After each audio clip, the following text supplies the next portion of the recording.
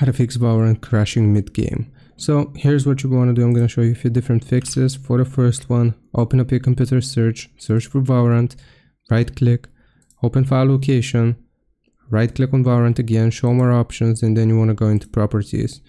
From here, you want to go into the compatibility tab and check these three options.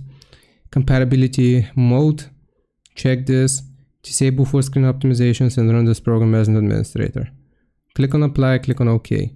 Now the second thing that I suggest doing is updating your graphics card drivers. If you're using AMD, you want to open up the AMD software. If you're using NVIDIA, you want to open up the NVIDIA software.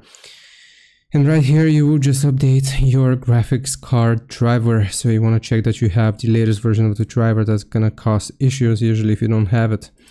And the last thing that I can suggest doing is opening up your computer search, searching for graphics settings. Right here, we'll search the list for Valorant click on Valorant, and then you want to choose GPU preference. You want to go to high performance. And that should fix the issue. Hope this helps. Leave a like and sub. I'll see you next time.